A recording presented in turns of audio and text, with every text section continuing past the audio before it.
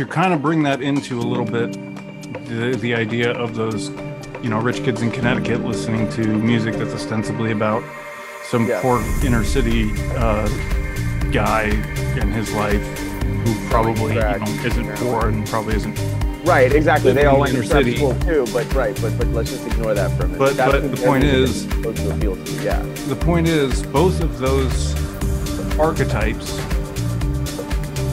are essentially perversions of two natural states the one is the state of having enoughness of plenty of comfortability in, in, in, in uh, your physical existence which doesn't mean that you've got the amount of money that a rolls-royce dealer's son would have at his disposal it means you have enough to sustain you for now. I mean, that's that's as rich as humans need to be is enough to have enough for now. And then the opposite, and and so so the idea of the you know Connecticut Richter that's got way more than he could ever use is a perversion of that idealized enoughness to the point where it's so excessive as to really be a perversion of just having you've got so much that you but nothing substantial because it's not a natural state of having enough. It's more than, it's a bigger, it's it's non-natural amount of stuff that they, they have. The opposite of that is the idea that you're so poor that you have to fight and kill and steal for everything and, and, and that very tribal uh, um, territorial maybe more than tribal uh, Right. existence to the point where you have to work really hard, scrounge really hard, fight for everything just to have barely enough.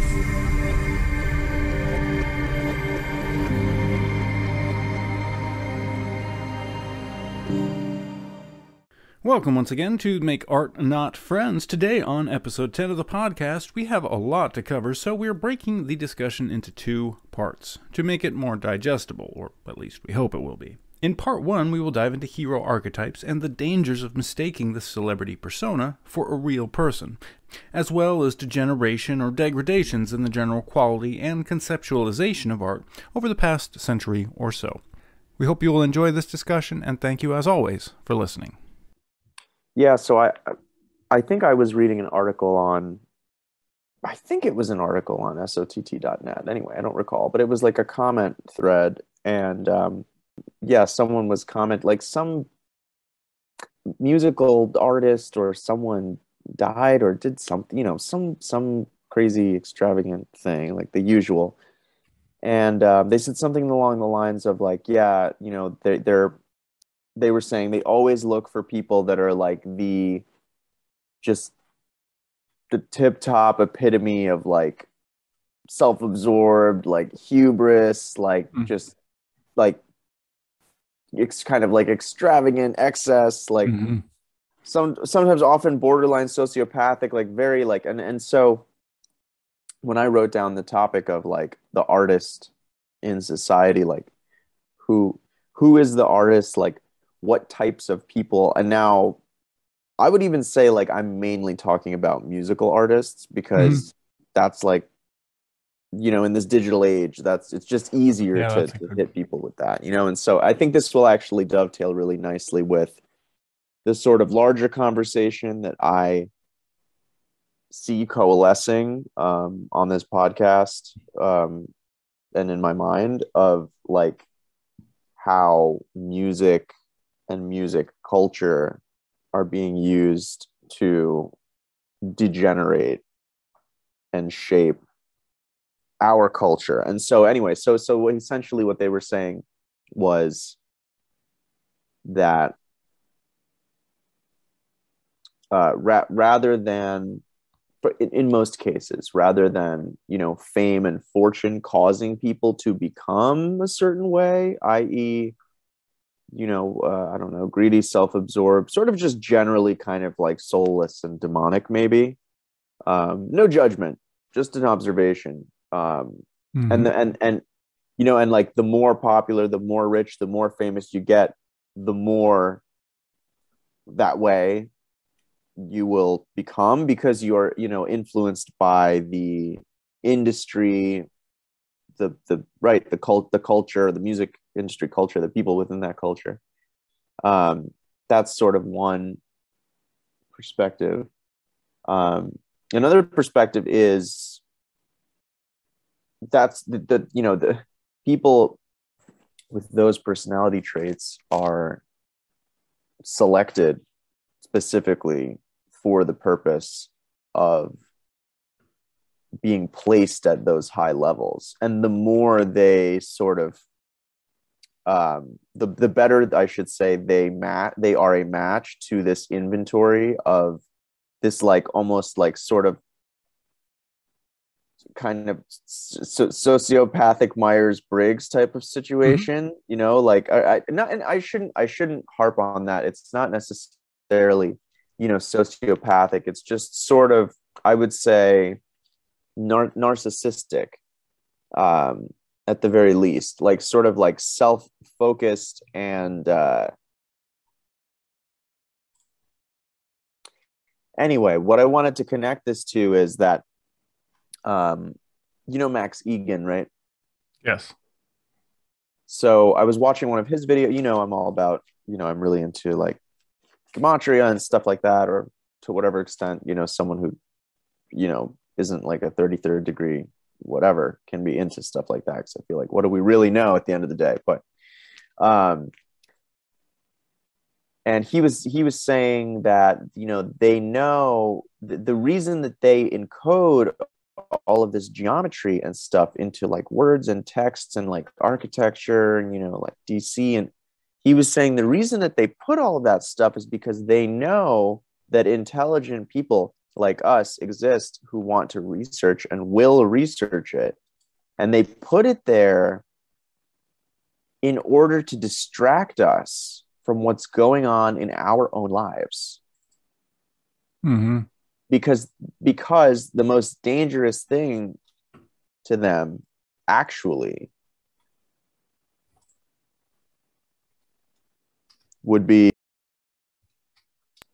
if we just um, looked at ev- everyone looked at their own individual life and applied the principles of natural law to their own individual life like boots on the ground one step at a time and you know not glossing over anything. And so um, you know if you get sort of the most astute people of the bunch who of course are going to be you know the the, the researchers um, in some capacity and you kind of like suck them into this rabbit hole of symbolism and you know ancient stuff that is fascinating but ultimately doesn't really have much of a bearing or an effect on their own life then um, you'll you'll sort of be able to s- strangle any efforts they have of, of kind of like changing. But anyway I, I digress. What i wanted to say is i feel like at the center of this strategy is um, because so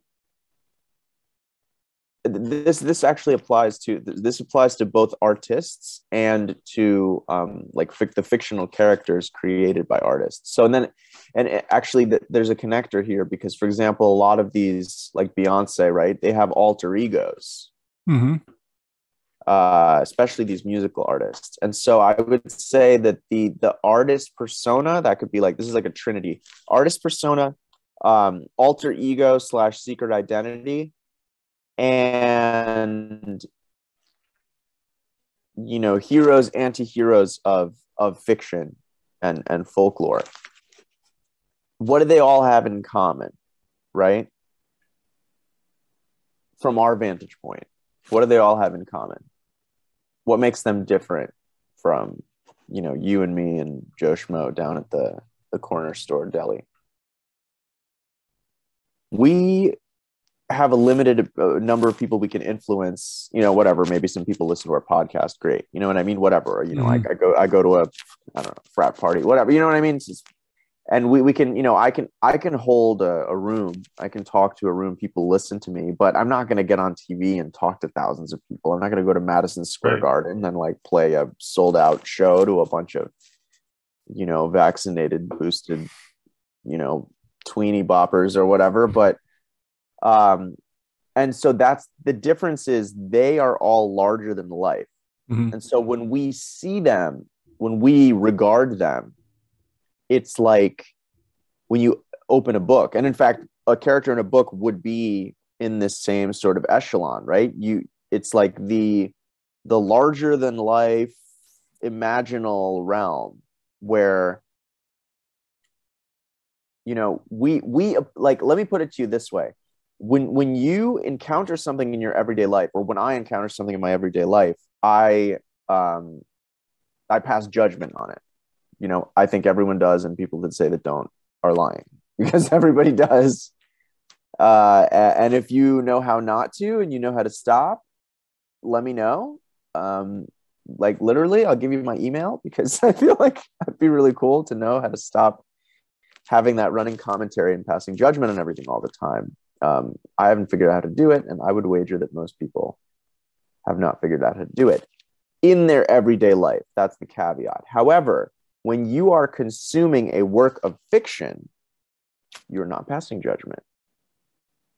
You're not because you're there- because not in the moment. Maybe later if you have to write an essay or you're reflecting on it but in the moment i would say nine times out of ten you're caught up in the story. Things are moving like pretty fast you know especially if it's like a, a page turner or a movie or whatever. Or or at the very least most people are not aware enough when they're engaging with these forms of media or art they're not at a sufficiently um, stable, individuated level of consciousness to be actually analyzing.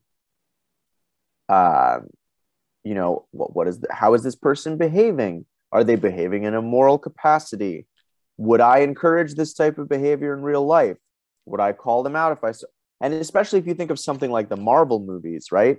It's set up in a way where everything that's happening is happening in a context that is just so radically different from everyday life that it's almost designed to short circuit that like well wait a second oh that, that wasn't very nice or like huh wonder how he got away with that or oh i can't believe you just said that to her and so this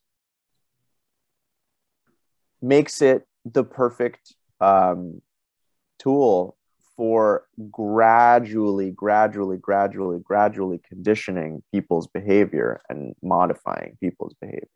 Because it, I, I, my, my sort of like hypothesis, thesis thing that I'm positing is that when you are a child, right, you kind of live in that imaginal realm right? Everything is everything is larger than life to you you know stuff happens you just sort of absorb it and they've proven that children are they've shown their brainwave activity is different they're more in the trance suggestion that's why they learn so rapidly you know you can I, if i get someone and i have done this into a hypnotic trance you know you can t- have them learn just as quickly. All you have to do is just shut down all of that that analyzing assessing um, function of of the conscious part of the mind that that basically is constantly cross-referencing things and you know kind of going back to the database and, and saying oh well hold on let's see oh this is happening. Oh well what about you know let me let me let me consult physics. Like is that even possible? Hmm.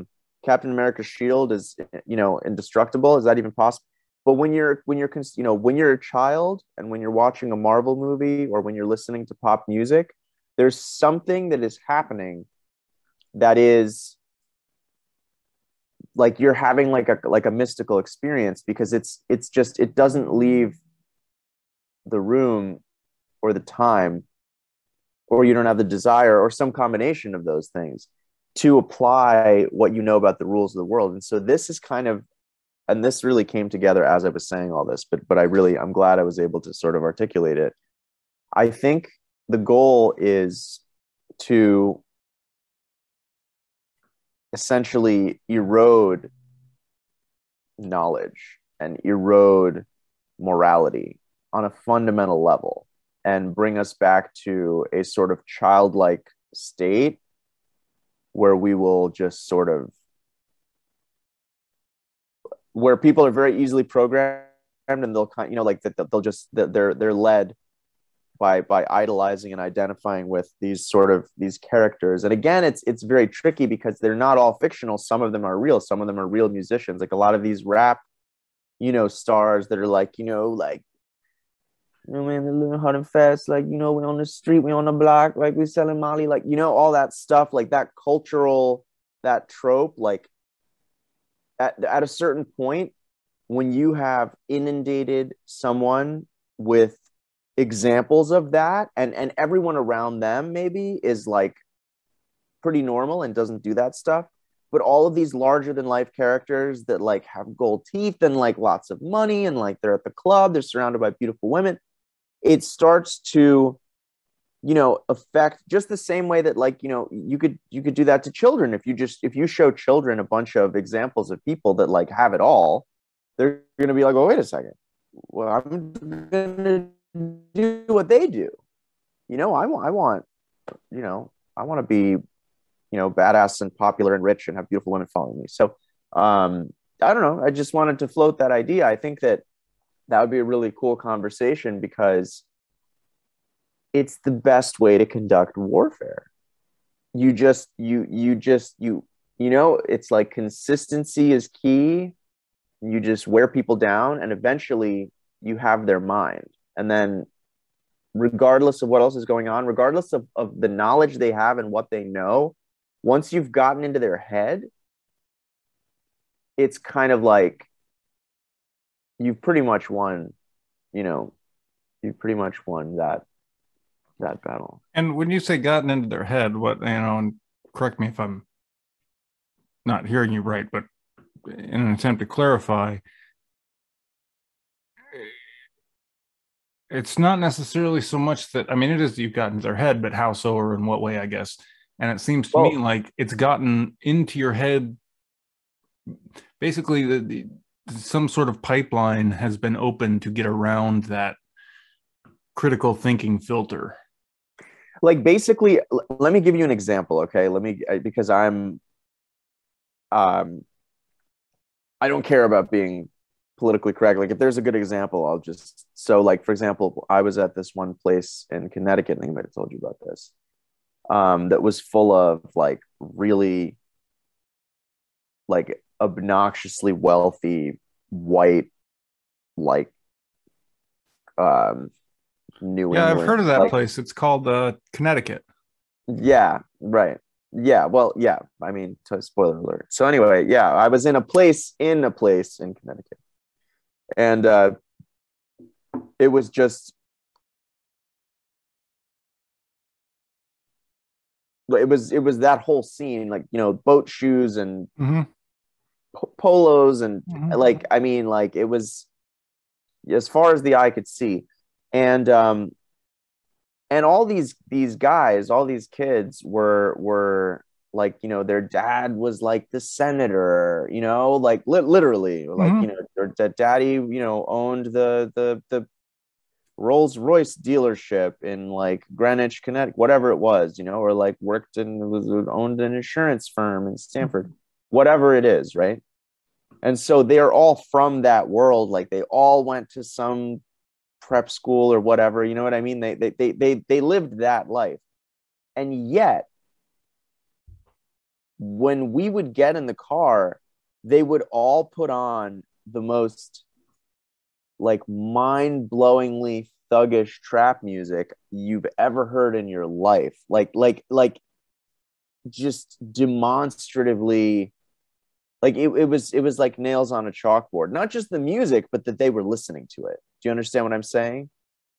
And so the reason i choose this example is that they like they just i feel like they found themselves inadvertently worshiping these musical artists and the lifestyle that they were leading and they were they were literally like they were literally being hypnotized. Like i mean just just think about that. I i i don't know that there's a better example than that. You have these these people like they have everything. They have it all. They literally went to prep school like you know if they ever like you know fell and you know were about to twist their ankle like literally a mattress made of money would just like You know what I mean? Like a like a Mhm. vacuum robot would just like cushion their fall, and like they're just like they're set, and yet they're listening to like Young Thug, and like they're really into it. They're really passionate, and I think that's just a really good example because this like this this degeneration of society is like a really calculated, really engineered thing. There's like a lot of money and time and effort and resources and think tanks invested in it. And I just I just think that would be a good conversation to have today because people really Yeah. don't realize like yeah, like you know, when you listen to pop music and shit, like every single you know, it's like as far as I'm concerned, it's like the guy in Clockwork Orange when they tape his eyes open. You know, like that's we're all in that position. We just don't to varying degrees, we may not know it, but it's like, you know, when they're trying to program you, everything in that programming that they show the guy whose eyes are taped open is like pretty well thought out. You know, it's it's not just you know what I'm getting at? Like like I do. I do. the possible exception of like Ed Sheeran, you know, I don't believe that a lot of this stuff is like, oh, you know, this girl broke up with me and I wrote a song. Like, no, like it's like the music and the sounds and the, the persona and the, the character of the musician and like everything is like very much thought out in order to, you know, Yeah, that's too big. It's too big a business. There's too much money at stake to take chances on. Uh, uh, entertainer's image, public persona. I mean, that, there's too much at stake to let the let the let the uh, entertainer decide how they want to be in the daily world. You know, everything has to be crafted. Again, there's just too much money at stake. right but yeah so um yeah and like for example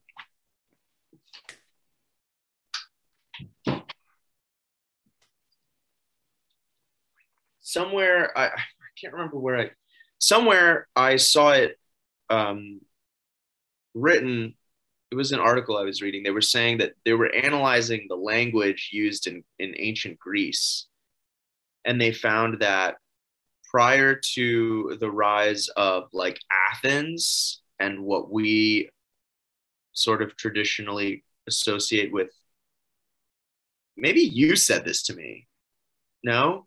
And democracy um they the, the, the language that they used was not centered it did, didn't really contain the concept of the i or the individuated ego like at all. They didn't refer to themselves or anyone in those terms. Everything was sort of it, it, they they they they're the it was more of a mythic vernacular. They free, Yeah. very frequently referenced you know the gods and you know the the the greek heroes and like the trojan war. And basically like it, it was shown that like the cultural discourse revolved around these like archetypes of the heroes and the gods who were that was like their movie stars. That was like their you know their their their lack of a better description. That was like their big like hip hop or pop star who like they they were th- those were guides to behavior. So it was just a different model like just the, you know like in, in whatever in judaism or in in catholicism you have you know you have a literal rule book. Like a literal book of rules like do this don't do this as a guide to behavior. It's very literal it's very rigid whereas in the greek system it was more like loose like hey check out this story. This like you like you always say this guy acted like this. Look what happened to him you know? This guy acted like this look what happened to him. He was full of hubris you know the gods like turned him into a you know fucking i don't know chamber pot or whatever whatever happens you know? Um i just think it's really interesting because now what our what are our cultural myths? In america it's just a vacuum. We don't actually have any real cultural myths that are passed down from generation to generation. We have new ones being churned out very rapidly and that's why you know if you go to like trivia or like some kind of a pop culture trivia game like if you're even a little bit removed from stuff that happened in one decade you don't know shit.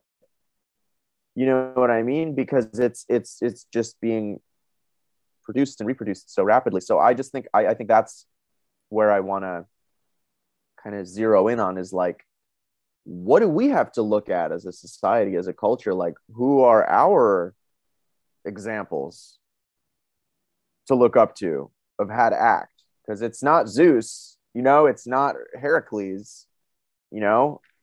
Is it Young Thug? Like, because if it is, then like we shouldn't be surprised as to the way things are going, you know. And, like, and there's yeah. always, you know, there's always the, that sense of of, you know, thinking of I-ness, individuated consciousness. Um, as more a, a composite of mythic archetypes, so to speak, you know, Zeus and whomever. Um, you're right, and a lot of that is explored by, uh, or was explored by the psychologist Julian Jaynes. His book, uh, Consciousness and the Breakdown of the Bicameral Mind, talks about how language used to do that thing, and now the language we use you know the, the idea of the bicameral mind being there was an I-ness but really it was this these archetypes that were painted as or, or talked about as as external characters but that wasn't really the nobody took that literally at the time. Rather they had the sense that there was the i in the mind but then there was also the other in the mind and those were the you know kind of that dialogue that you have today that kind of the internal dialogue was the other talking to the i-ness. And they spoke about the other as a different entity archetypally. Mm. and that's where the bicameral mind is. There's two two chambers. And one is the i-ness and one is the idealized uh, um, whether it's love, whether it's hate, all the idealized conditions of human wow. consciousness. So that book's really good for going into what you're talking about. But to kind of bring that into a little bit, the the idea of those, you know, rich kids in Connecticut listening to music that's ostensibly about some yes. poor inner city uh, guy and his life who probably you know isn't poor and probably isn't Right, exactly. They all went to prep city. school too, but right, but but let's just ignore that for a minute. But That's but the point is supposed to appeal to. Yeah. The point is both of those archetypes are essentially perversions of two natural states. The one is the state of having enoughness, of plenty, of comfortability in in in, in uh, your physical existence, which doesn't mean that you've got the amount of money that a Rolls Royce dealer's son would have at his disposal. It means you have enough to sustain you for now. I mean, that's that's as rich as humans need to be is enough to have enough for now. And then the opposite, and and so so the idea of the you know Connecticut Richter that's got way more than he could ever use is a perversion of that idealized enoughness to the point where it's so excessive as to really be a perversion of just having you've got so much that you but nothing's substantial because it's not a natural state of having enough. It's more than it's bit bigger it's it's non-natural amount of stuff that they they have.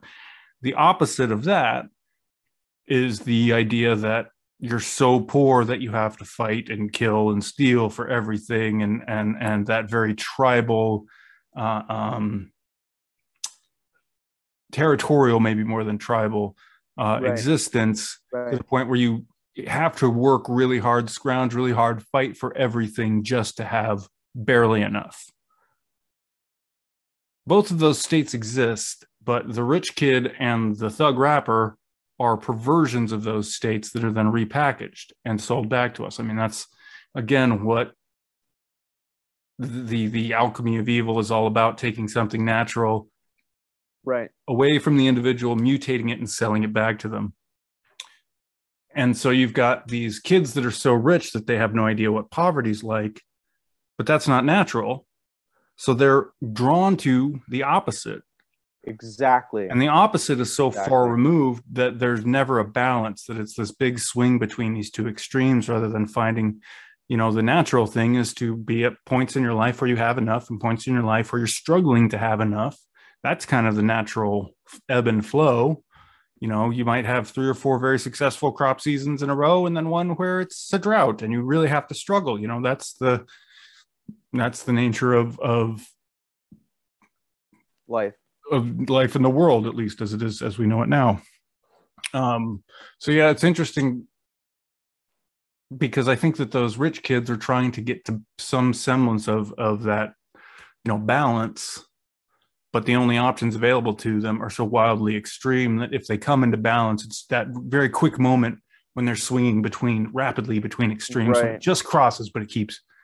Well, and I think I think that because they have essentially only known such exorbitant wealth and comfort that in order to balance the the the degree of that that they have sort of like seen and experienced that has really made up most of their experience they seek out like the most extreme the opposite polarity which is like extreme instability extreme violence extreme chaos because but it's but you know it's really interesting too because when you look at like wait and you're like right there you're in seattle. I was gonna say if you look at like portland and this whole you know foaming at the mouth social justice warrior phenomenon it's like 95% suburban middle-aged white i mean mm-hmm. middle class upper middle class white kids that have literally never i mean like you know the worst thing that ever happened to them was they got a c on their fucking algebra final you know what i mean? And so and so it makes sense that they like you're saying they gravitate towards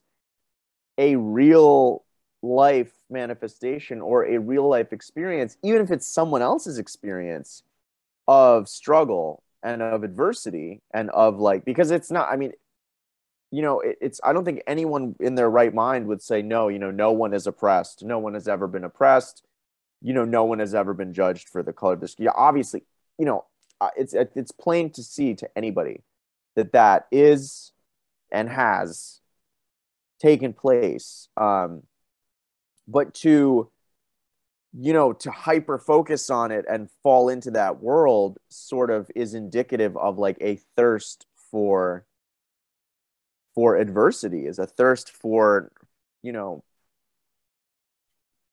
seeing the world from that angle right like the haves and the have nots like what you know what i mean? Because it and honestly a lot of a lot of black people that i know in fact i was just talking to a couple of them you know the other day you know they're just like yeah it's you know like this is the world like move on. Like why you know what i mean? Why are you going to get sucked into like a, a zombified movement like black lives matter over it? you know what i mean? Like you, you just just just because the thing that this movement says it exists to fight exists in the world doesn't mean you should like sign up for the first you know corporate sponsored nonsense that that you know the wind blows your way Mhm. um and and so it's just anyway i just think that's another illustration of the same point that the people who are who do jump on that bandwagon are the ones that are essentially they're the most desperate to like get their fix of like oh my pendulum has been it's just only swung this way and i'm like stuck over here. So i need to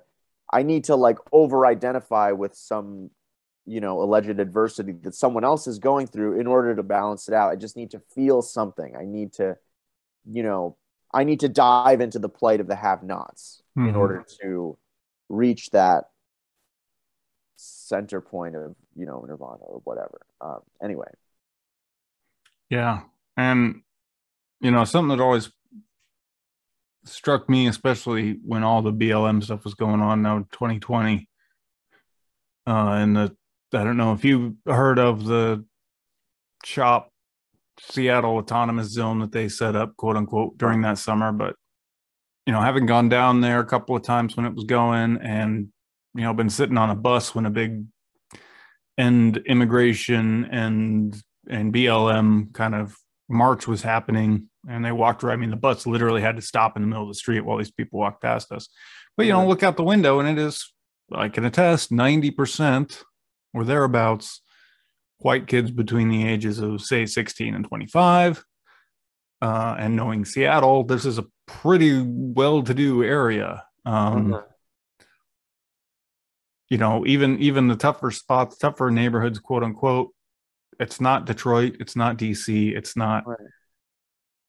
You know to say nothing of mumbai or calcutta or Right. tehran or whatever um Or Camden. like mexico city for crying out loud right. um Or like Rio. yeah it- it just- yeah there's not entire communities who live their entire lives in a dump literally just picking through garbage for their entire life i mean that that's i can't remember the name of the documentary but a couple five years ago it was a documentary about the people that live in this huge landfill in outside of rio and all they do is pick through the trash and find stuff they can sell. And they literally live and build their houses in and out of uh, that. Anyway so you know it's not that. Seattle's pretty well to do. So these 18 to 20 year old or uh, 16 to probably 25 year old is a better range. You know they don't really know what they think they know about poverty not that i'm not that i necessarily have firsthand experience with that level of poverty either but here's what always strikes me about them you're in it here to help the poor and help the oppressed and help the downtrodden. First of all, who is it specifically that you're trying to help? Because you can try to help some idealized nebulous group, but Exactly. if that group doesn't really exist, or if it's just your idea of some, you know, theoretical, You don't know who that group is because you're chasing the the algorithms like little exactly, stick that makes you and or or all your friends or you and all your friends think that you're a good person because you have all of the the 16 items of flair you know you've got the Mhm. rainbow and the blm fist and whatever else Mhm. you know? and then you know, even if you could, you know, assuming for a second that there is a real group, that there are real people at the end of your your um, social justice rabbit hole, social justice tunnel, that there's actual physical people, flesh and blood people at the end of that. Do they even want your help? Have you asked them? You know, if you're all we're here to help the oppressed, did you even ask the oppressed if they want your help? Did you ask the poor if they want your help? yeah I mean, it, it, first of all, who are they? Tell me, point to who you're trying to help. And second of all, tell me that they said, yes, please help me. Because otherwise, you're wasting everybody's time.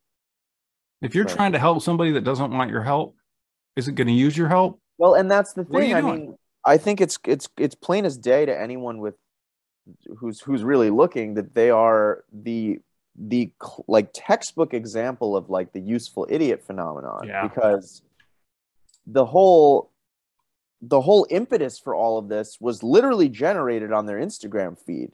You know what I mean? Like th- these these kids did not and did not give a fuck and would not give a fuck about any of this stuff if it hadn't started popping up and you know it just it's it's just social engineering at its finest and so like at that point yeah i mean this is it's it's kind of interesting it's just the newest version though because again not to always relate everything back to christianity but that was the drive for you know alan watts talks a lot about this too. You just reminded me of that because he essentially he was like he was saying you know like the the the christian the judeo-christian west has been quote unquote improving the world has been on a quest to improve the world for you know a few centuries now. He's like and we've just like we've wrecked everything. But it's just all that does is create this it doesn't even create sameness. It just creates a frantic desire for and uh obsession with sameness. And then you have the phenomenon in like you know india and all of these like countries uh where all of the people are like frantically lightening their skin. Do you know about this whole thing? Uh, like in, Haiti and in India, and it's like this whole thing where like and and like all the movie stars and all the people that are really big, you know, all the beautiful women that everyone idolizes are the ones that have like the like the absolute lightest skin while still sort of maintaining, you know, like they're still whatever. They're they're you know, and and it's it's just so so he was just saying he was echoing what you're saying. He was like How do you know what's best for other people? Did they ask for your help?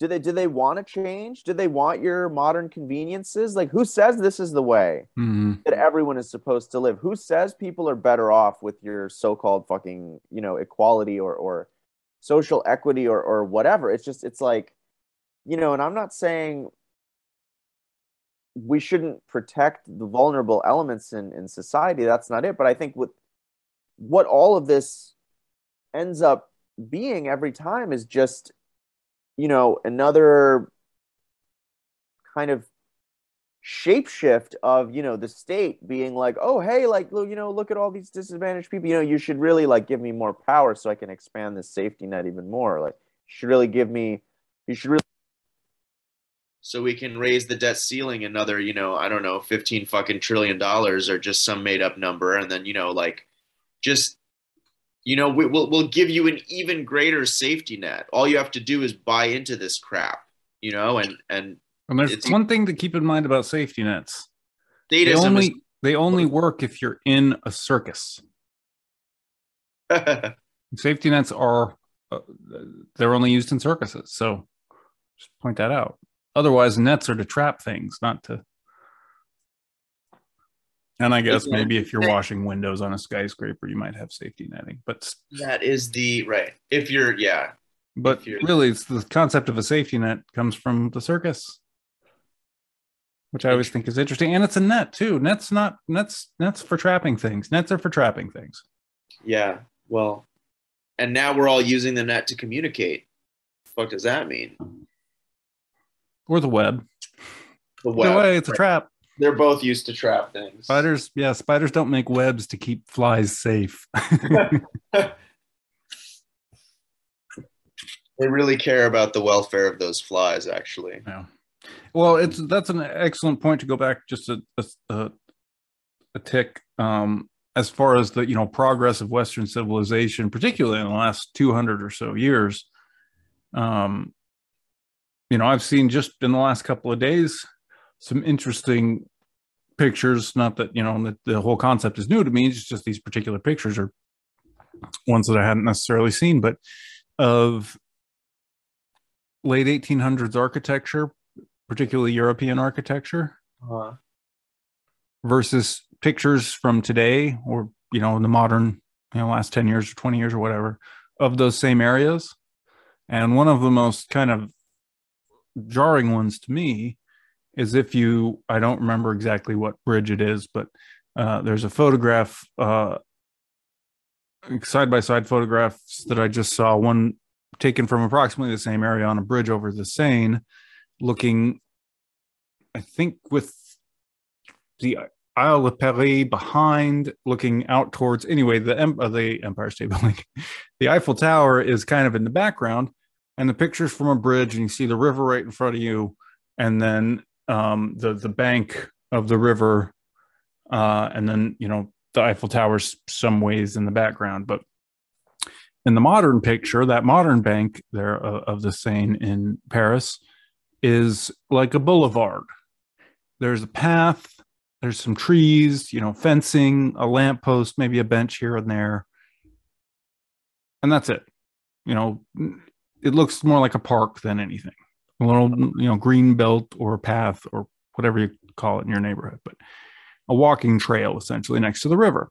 You look at that same a picture from that same point of view from I think 1890 and there are buildings that are elaborately architecturally magnificent by com- and and they're just gone now and we've made all this progress and the progress was destroying these amazing old buildings. So that's certainly a, a interesting uh, pictorial uh, expression of, of the advance of western societies so, so to speak. Yeah, I mean, it's um, it's an interesting time, like too, especially now because you know we we, I the phrase that I've come to use is like, you know, capitalism is like, uh, we, we live in the time where capitalism is like the Ouroboros and it's just about to chomp down its own tail, sort of, so to speak. You know, globalism is kind of like, wait a minute, where do I go next? You know what I mean? Like, there's not a whole lot left to uh, to to exploit, or there is, but it's like it's getting dicey, and uh, and it just seems like that's why I keep returning to the whole, you know, the the the the game is psychological because I think in order to sort of continue, um, and that's why it's so important that this like ecocide extinction rebellion stuff catch on hmm is because ultimately what they want to do is just lower the standard of living in the west because there's there's not actually enough poor people with access to the stuff that they because they, they want poor people with access to technology right Yeah, essentially. that's that that's what that's what makes this globalist wet dream work. Wow i feel like this is officially not a podcast about art anymore. Just listening to what i'm saying. It's just not. Uh, if it ever was. Um, they uh, they they need you know oh man. What have i become? We've got to start somewhere. yeah that's true. That's true. I had kind of a thought to maybe how some of this ties at least a little bit back into art because might as well give it a shot here. Um, but to tie back into, you know, the idea that this whole uh, uh, uh, kind of direction, this trend that the quote art world has been going, uh, which has reached kind of a culmination of sorts in the glorification of the yes hip hop gangster rap really more than hip hop gangster rap lifestyle. Um and and how did it get to that point? You know for me it does trace back and go through kind of what Alan Watts would be talking about with the rise of Western civilization and how it's not really that civilized or civilizing and it hasn't really risen. It's more destroyed things but um exactly. it, it leads me to think of at least post mid 1800s Yeah, I was gonna, and that's where I was going because it leads me to kind of, for in my conceptualization of recent history, the last hundred something years, as far as I understand it, and I could have bad information, I could be putting puzzle pieces together in the wrong order, whatever. But I kind of see 1895, particularly, as a fairly watershed uh, a year for the direction that the 20th century was pushed uh-huh. um, and certainly testament to that are you know for me one of the big things that that makes that a watershed year is that's when the uh, Cecil Rhodes and the Roundtable group really you know uh, uh, formed and started to to push forward different policies and ideas and things that would become uh, formational for Mhm. uh, particularly the world wars, but just the shape of the 20th century generally.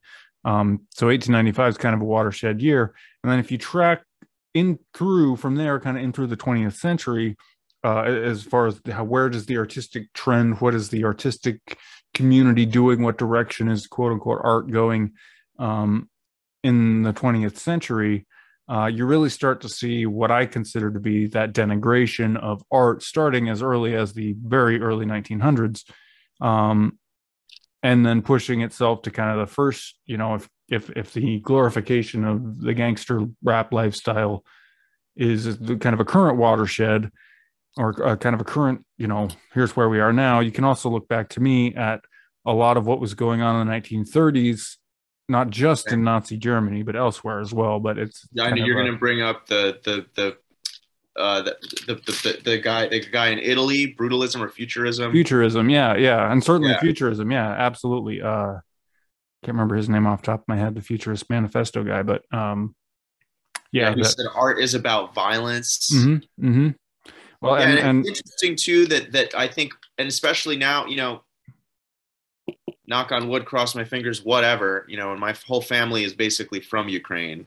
mhm, So that's my little, um, that's my disclaimer. But it does seem like the you know we western society or i guess at this point global society because we've kind of dragged everyone into our bullshit lives in this kind of punctuated equilibrium right? Where you have like this plentiful kind of venusian renaissancey harvest period right? I was just talking to someone about that at um like a prepper group meeting.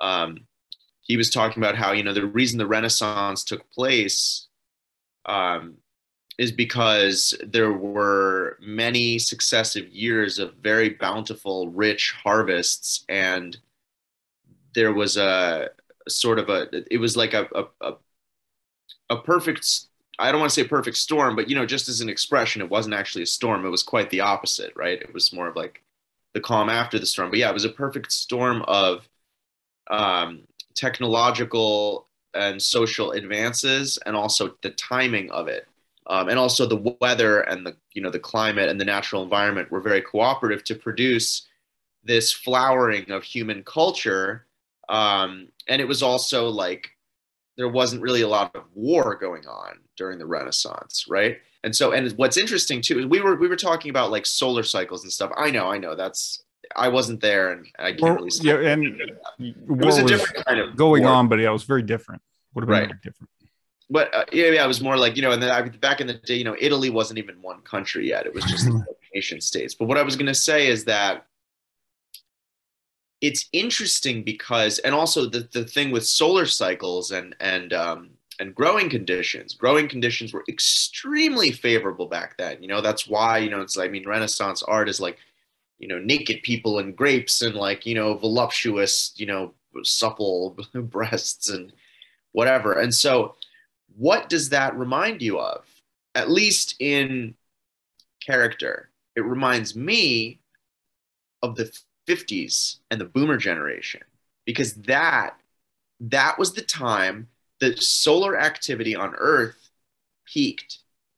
So all of these this this global warming stuff and all and and this whole sort of um, mentality of like you know endless production and like you know what I mean? Like like like everything was too big to fail kind of at that point you know? And also I Mhm. mean the US was in a really good position so I feel like they they they had more of a solid foundation for some of these. The dreams were not exactly pipe dreams yet because that we hadn't lost as much but but the thing that they both have in common is that there was a building up there was a building up of the human spirit right? At least i guess it's arguable depending on how you view the renaissance but um, at least like in america you know during that generation it was like you know very much like and i've spoken to people who like worked and came of age during that time and they were like yeah it was great. Everyone had jobs. Like all the all the people who were consumers were the ones that were doing everything. But anyway i digress. The point that i wanted to make is that i feel like these sort of if there's like a great conflict or a dark age it tends to be follow followed by like a punctuated equilibrium of like this time of plenty if you will where art is allowed to more or less evolve naturally and organically versus the and and the, the so the global control mechanism kind of relaxes a little bit during those periods. Whereas now and or going into world wars 1 and 2 it's more like the opposite. Like the financial system is getting a little dicey and they're like okay we need to crack the whip. And and in doing that they do several things simultaneously. That's the point i'm trying to get at. They do the the, the wartime and the food shortages. And but it's also very important arguably the most important thing for for this sort of cyclical thing that happens is to break the human spirit. And that's why like in you know there was a lot of like artists and artisans and stonemasons prior to world war one that were at an extremely high level of craftsmanship like extremely high level of craftsmanship. If you look at pre-world war one you know like late 1800s architecture and you know handcraft like these people were like you know to say nothing of the fact that there were many generations accumulated of wisdom and knowledge and craft and you know it was the family business but they were at a really high level. And then war comes along and sort of you have this beautiful and just exquisite craft and and art like physical art in many cases that took centuries to build and refine. And in an instant it's sort of like you know it's it's uh, hiroshima away for lack of a better description. It's kind of vaporized and then in the dust cloud afterwards people are like whoa. What happened? And then us looking back we're like well we we we doubt the potential of the human being on a fundamental level. And that's that's something we, we don't necessarily have to talk about today but a lot of these theories coming out in alt media like tartaria i think are really interesting because while they fascinate me as well it's like this theory is a symptom of how disconnected we are from our past where we're like oh no impossible people couldn't have made that. Really? You know what I mean? Or they're what that's what that's what they're essentially saying. They're saying, oh well, you know, modern people couldn't have made that. Europeans couldn't have made that. It was some forlorn, like long lost. It's like we are projecting this other into our past because we are so disconnected from this patient, um, like really highly developed craftsmanship and, and care oriented part of ourselves, that spirit of our own people, that we have to literally invent another culture and say, no, someone else must have made this. And it's similar to the UFO thing and the ancient aliens thing. If you think about it, it's like, no, no, no, impossible because we, the archetype of our collective, you know, consciousness, the, the archetype of human society has been so degraded within our lifetimes that the dissonance is too great. And we literally have to invent you know uh, the, the, the whatever the blue avians the pleiadians the arcturians the tartarians. There's some mystical you know eons that, that they they made this beautiful stuff. They made these beautiful buildings that you see on the bank of the seine in that old photo. Because when you compare it to what we're doing now that can't even be the same humanity. And so that's, I just wanted to, to sort of squeeze that in there and say, I think they've done a really good job in degrading our image of ourselves. And that's the point I was getting at initially with all of these movie stars and musical artists is, you know, back in the day, they didn't have iPhones to constantly be taking selfies. And a lot of these like people who were working dawn to dusk they may not even even have mirrors. The only time they would see themselves to be able to cast this I, quote unquote, or this ego is like the reflection that they had in some choppy river water. So you couldn't cultivate this idea of like, oh, you know, what is a man? What is a man in society? You know, what what are you what are you supposed to be like? What are you supposed to do? People just did what was necessary, you know, and and and but it, and I think it was obvious also like what was good and what was beautiful. And now I think it's been done very skillfully because now like liter- people literally think that like, you know, this trap music and like Cardi B, like they think that that is the height of artistry. And mm-hmm. I just, I really want to hammer this point home. What does that do to mass consciousness when you reach a critical mass of people that not only don't fight against like filth and depravity, just wholesale degenerate degeneracy like invading this this the artistic and musical scene but they actually encourage it. They sign on to it and they they say not just i'm okay with it but yes i agree. This is good. This is progress. We're progressing you know like beyonce cardi b etc you know megan thee stallion whatever like they're so brave. Like when you get to that level when you get to that point you can pretty much take that collective mindset and do whatever the fuck you want to it. You know what I mean? Because you, I mean, I that that's my anyway. Maybe maybe maybe I'm getting ahead of myself, but I I just I think it's it's similar to when you when you hypnotize someone. In order to hypnotize someone, you have to first peel away their onion layers and and literally like dissolve their sense of self. You have to sort of put their conscious mind to bed. And i think for us that's kind of like a lot of what natural law talks about objective morality. You know what right and wrong is. I know what right and wrong is. We all know what right and wrong is. But when we consume enough of this media we start to become delusional about it because our mind is full of images of people doing unspeakably horrible things in a very casual manner. I mean, I mean, I don't know. What what do you, what do you think? Am I am I am I off the mark? No, I I, I agree. I uh I think the, the important thing for me in that in terms of of that conversation would be to keep in mind the parallel uh development advancement whatever you want to call it trajectory maybe a better term the parallel trajectory of the education the way that we impart knowledge to future to the next generation. Um, you had touched on the developmental mind, the the the, the child's developmental mind. You know, um, being like a sponge, and you know, you're absolutely right. Neurobiologists uh, certainly found that the first six or seven, well, from age what one and a half to two till age six or seven or eight, depending on kind of the individual child's development, the, the the child is just a sponge.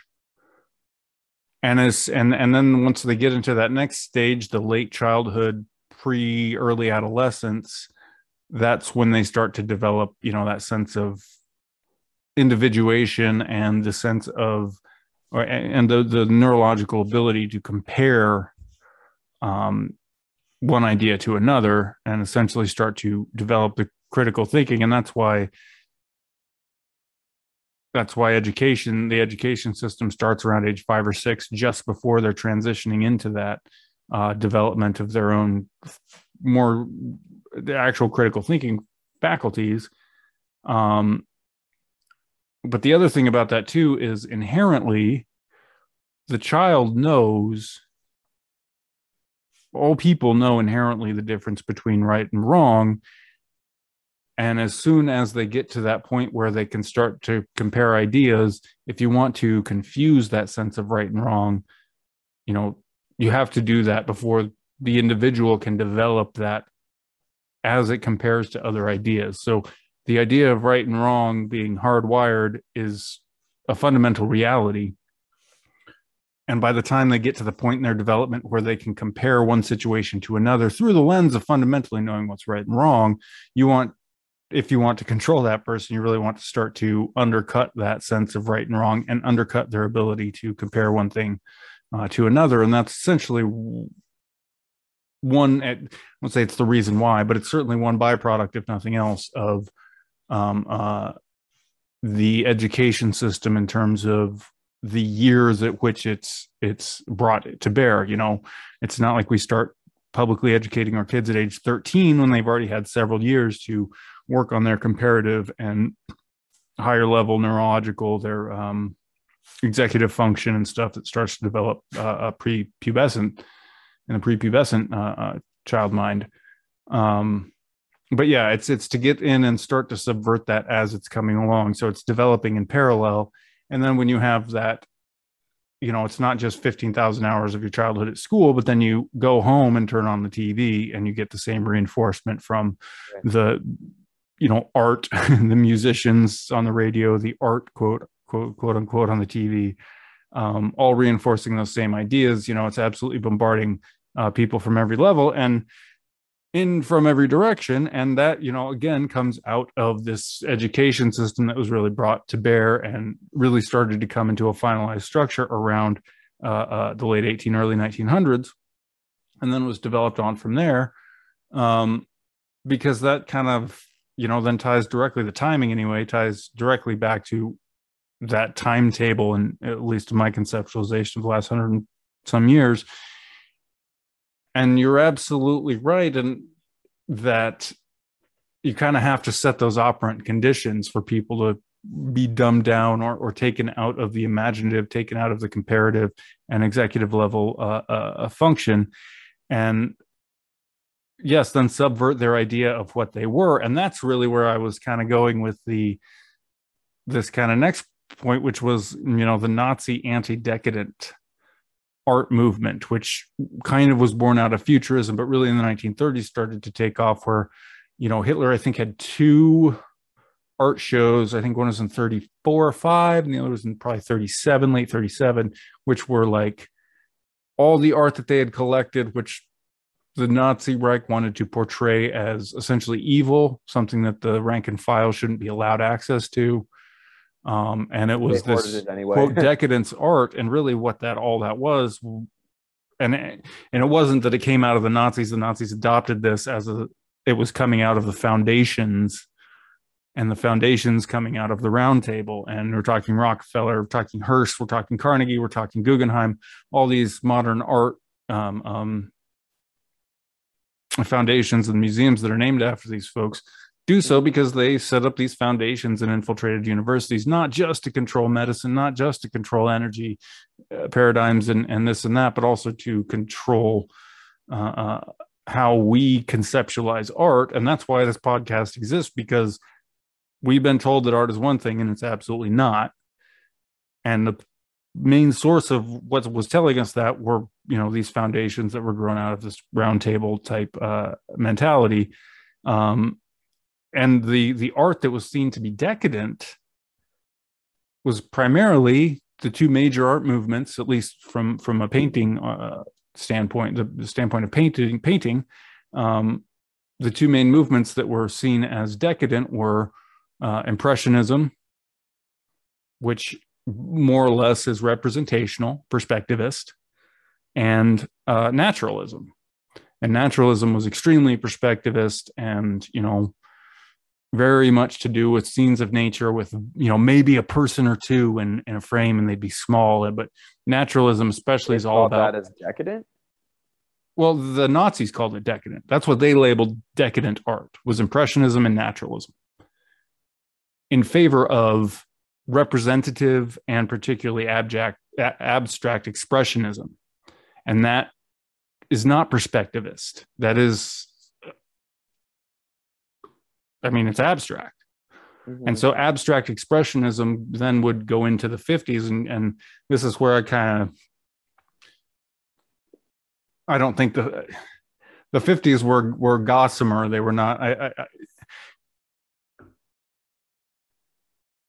anyway i don't i don't want to speculate on people who lived and grew up in the 50s and what how accurate their interpretation of that uh, period was in terms of uh, broader context but that aside you know that anti-decadence movement moved away from perspectivist art where the artist is saying this is where i'm standing. This is the scene that i'm seeing. I'm painting it. And that was big in the naturalist movement you know? It was this is this great vista and there are hills as far as the eye can see and look how big and strong and great nature is.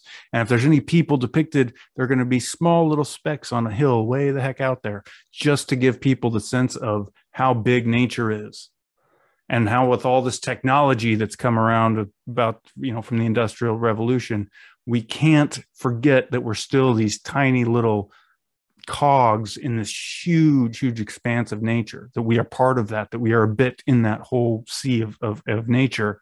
And that idea i mean just the idea that that would be labeled decadent is a perversion of the word decadent to begin with but that's what anti-decadence art was about. And, and the funny thing is, it's not that Hitler and and and Goebbels and Himmler and these folks that were going around you right, know, after Jews had been kicked out of their homes and taking the nice art.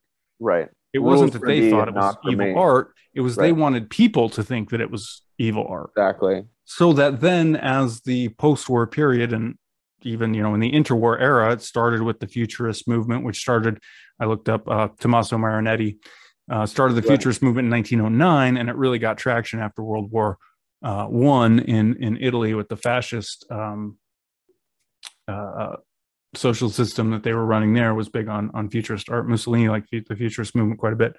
Um, and you see a lot more of it uh, in the 1910s and 20s but that was all the forerunner. Even even futurist art a lot of it was perspectivist. You know it might be kind of abstract but it was not expressionist. Most of it was perspectivist you know you would be seeing this train moving through this you know really advanced looking city but it was still like you were standing there looking at something as mm-hmm. opposed to a blur of color which was supposed to express the notion of the idea of movement and they're somehow kind of abstractly express the idea well this is a painting of a train even though there's nothing that looks like a train. At most you've got some lines that imply movement and so you're expressing the feeling of being on a train without showing being you know and, and so it's not perspectivist it's it's expressionist and and and usually you know as it got on later you get to to folks like um Jackson Pollock, which is expressionist, abstract as all get out, and you right. know, really his art to me had there's no substance. There's no perspective being communicated. There's no worldview in that art except fuck it. You know, and that was that was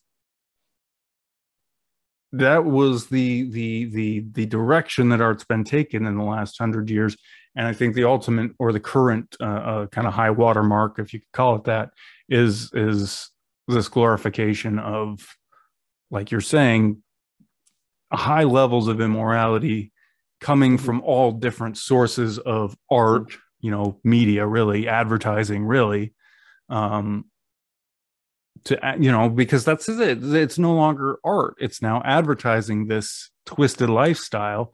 It's now advertising that you should be like bono or beyonce or Cher not the real person but the persona that this that we all see which is it's really like devilish larger than life. yeah. Yeah yeah. we don't see you know i'll, I'll use bono because who cares? Um bono is not bono right. Bono is a character that whoever his real name whoever he is is playing. And whoever he is his job is entertainer. Exactly. And that's the role that he plays when he is at work. Yeah and, and if you those look people like they're almost always at work. And we forget that these are entertainers playing characters. We think that Right. bono is the a real person right no that's the thing and it have to- divorces us like you were remember- saying from understanding ourselves and our past and having a connection to that and and undersells our ability to think about ourselves as you know i don't need a persona i don't need to create like I you're don't need some, an some identity. E- I don't need- yeah. tartarian whatever Right. Ian. um i don't need some other thing to come and do this for me so right and and i think well yeah you you made a lot of really good points um i want to say that yeah it's it's important to remember you know to the extent that you don't want to be influenced subconsciously by these people that that you know anyone on the world stage is a paid actor. If they're a musician they're a paid actor playing the role of a musician. You know what i mean? They may still be able to make music you know they may still have musical training. If they're you know uh you know the the the head of the NIH you know what I mean? Then they are a paid actor you know what I mean? It's and it's so it's so in that sense directing any real genuine emotion at them is somewhat comical because it's like getting angry at the muppets. It's like dude that's a fucking sock puppet. Like there's a there's a greater hand at work literally and figuratively. Um, yeah, you made a lot of really, really good points. I think the, the the point that you make about expressionism, it just takes me into wondering, um, back back to you know the Greeks and stuff, you know, and like or it's it's because when you have these myths, right, of the heroes, like that that that mythology that is intertwined with nature. I think that's the key difference in all of this. you have nature 100%.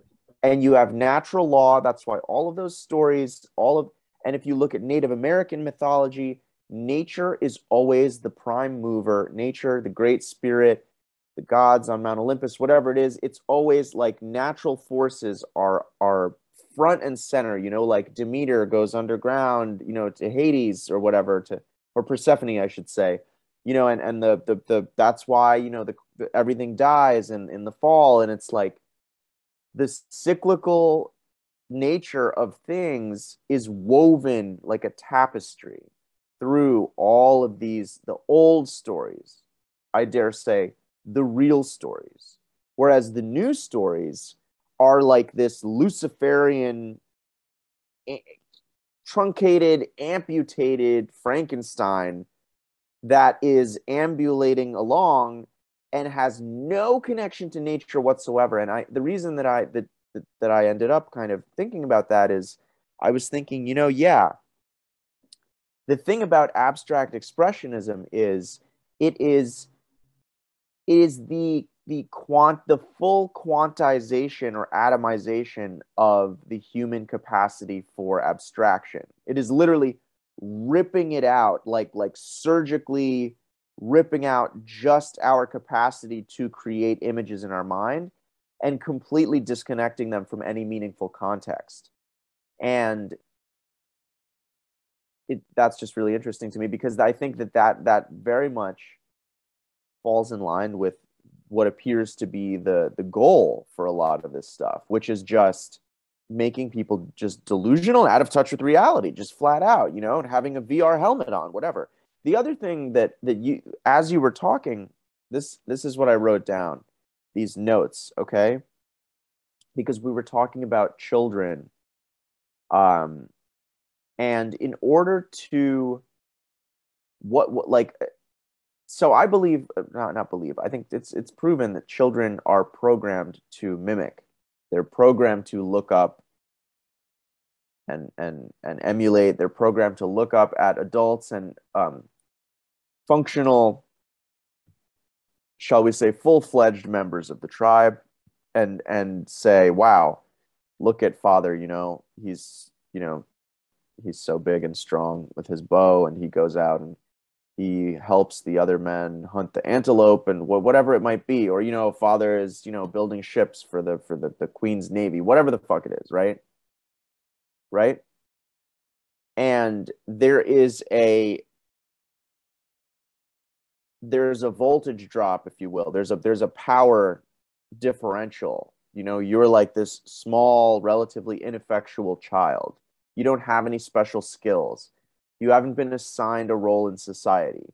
You don't know how things are done. You don't know what you're going to do people don't really take you serious you know what i mean? It's it's and so you're you're down here and your um your role model if you will is up here. Okay. And so, and I think that is integral to this sort of trance like state of learning and, and absorbing and, and, and mimicking, right? Mimicking, that's the key. So, what I was thinking is, how do you recreate that in an adult? Or how do you extend that process so that the person never actually grows up and is constantly in this childlike state of wow look at so and so you know they're, they're, they so and so what i wrote down is culture of the of the global man child um children dream of becoming grown-ups right when a person becomes an adult and that's why you have all these coming in in a tribal society in a mm-hmm. traditional mm-hmm. society you would have a coming of age ritual, right? We don't have that in our society. We do not have that in our society. Anybody who disagrees, we should have them call in. I will I will debate that point with you. I will be happy to debate that point with you until I need to be involved. I, I would say some some smaller pockets of culture have something akin to that. They do, I think the the more I mean, you would agree. Some the more the more homogenized and yeah. the more standardized the culture becomes, Western less society. No it's way. honestly, it's interesting too. Yeah, it's like the same way that we destroy our food, we destroy the identity of our food by processing out everything meaningful, namely the minerals, the literal physical anchor, and the, the good stuff that's supposed to be in there. We don't actually need that many calories, incidentally. This is something I'm learning calories are kind of a psyop. What we need are minerals. Minerals are literally the we, I don't even I, I mean there's a lot I could but they there's something very special and magical about them. They literally are required to like anchor down this electric god source field. And so and and it's now there's no there are no minerals left in food at all and any minerals that there are in something like wheat are all processed and bleached away. And they, you know, what do they what do they put in instead?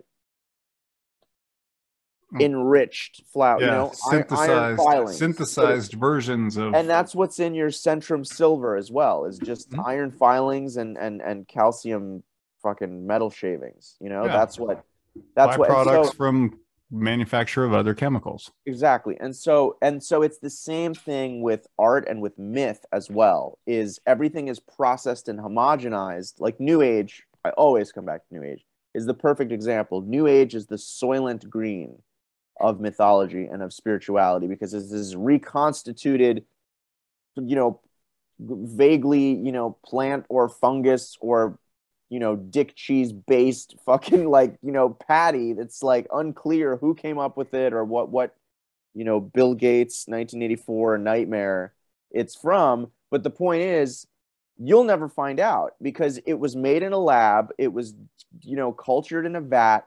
They're all the same. You know, it's it's got your things they tell you you need. You know, it's got your protein and your carbs and your, you know, whatever.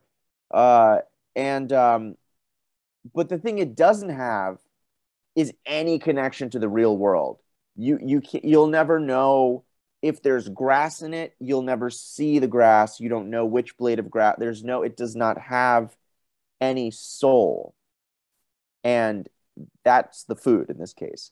And that is how these cultural rituals are now. The ones that are passed down of like, hey, it's like you know, it's like Sunday night football. And from my vantage point, I'm like, what the fuck are you talking about? Why do you do that? How many generations has this been going on? What's the point?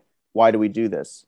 You know, well, what? Why is your team named this? What is the history of that? Is there like a, you know what I mean? Like, what is the significance? Why do you do this because it makes you feel good, or you think it makes you feel good? Does it really make you feel good? Do you feel connected to something greater than yourself? And like, why? Like, why does this resonate with you? And I think when you ask that question, ultimately most most people just fall back on like, well, it's what people do.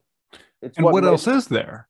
Right. Like I know I need there? that connection to the natural world, but I don't that doesn't that connection is not available. So I have to take a proxy connection to so it's like culturally or or mythologically, we live in a food desert right? Because mm-hmm. it's like you need minerals, you need to be doing celery juice, and people are like, "What are you talking about? What is celery? What is juice?" I've never seen a green thing in my life. Everything is white or potato chip colored and comes in a bag.